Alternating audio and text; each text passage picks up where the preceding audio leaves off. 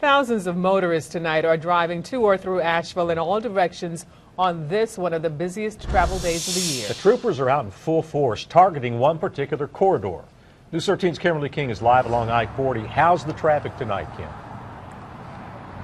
Good evening, Larry. Good evening, Darcel. Happy Thanksgiving to both of you. Traffic is pretty slow out here. At this hour, it looks like a typical night in Asheville. You can see one lone car here going eastbound, but speedsters better watch out because troopers are still out here along I-40 tonight.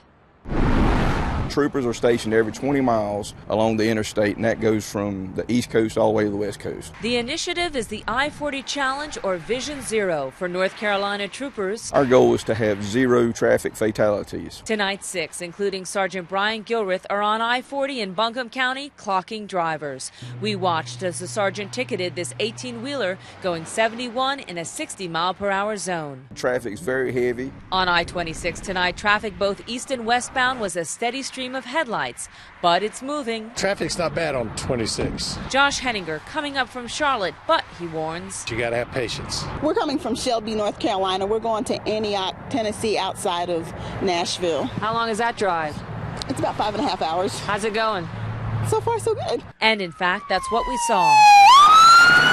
We caught one ambulance rushing to a possible scene, but conditions overall were good and dry.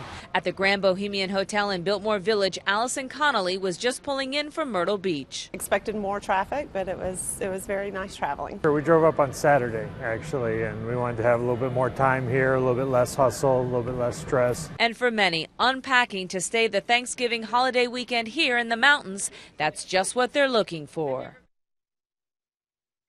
Indeed, they are. Now they're tucked away now. We're just looking at the westbound lanes on I-40. We see a little bit more traffic coming from the westbound from, but, but uh, compared to the eastbound lanes.